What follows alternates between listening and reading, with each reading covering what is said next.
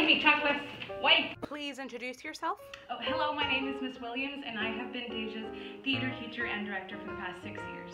Hello, my name is Stefani, but you can call me Shadi. and Deja has been my home girl since, like, basically, like, like forever.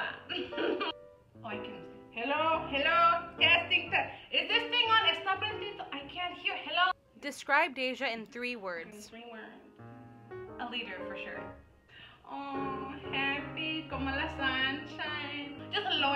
Because you know what? My girl got my back, you know. Deja successfully led our theater troupe as president um, and she led us into many volunteer projects outside in the community. Where can you find Deja throughout the week? Uh, she called it a black box or something. She's in love with her family, so you'll probably find her somewhere out in the city taking family pictures or something. Like, Deja's like really into school and like studying and all that stuff. Whenever she comes home, we watch Netflix and eat elote. My cherry bombs. Oh, I like Mexico. Wow.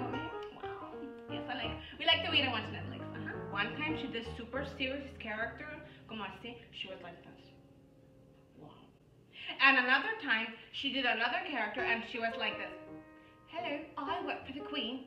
And I was like, wow, me has so talented. What would make Deja a good lasso?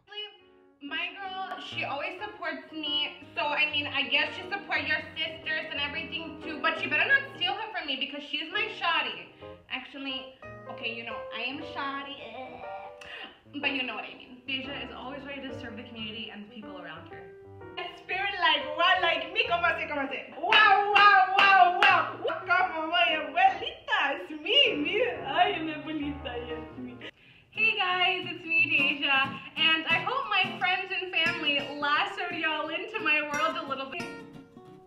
Helped tell my story about who I am and what I have to offer, and I can't wait to join you guys. Bye!